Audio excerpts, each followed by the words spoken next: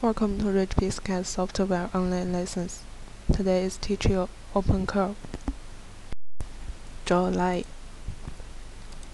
Click the two points with the left button. Right click.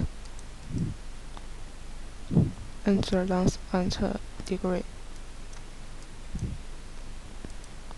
Connect two points. Use the left button to click on each of the two points. Right click. Draw a curve.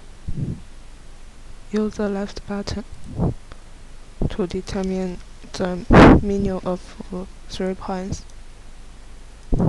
and then right click.